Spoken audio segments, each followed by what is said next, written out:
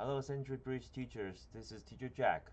Just gonna make a short video to tell you the new little slide that we implement to help your class.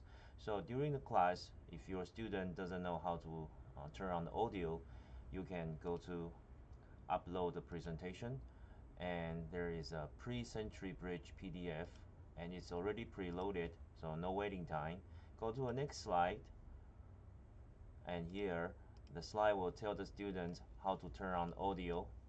And if he can if they cannot hear anything uh, the slide will also tell them teach them how to uh, refresh the browser. And once you are done just go to upload the presentation again and go back to your curriculum slides. No waiting time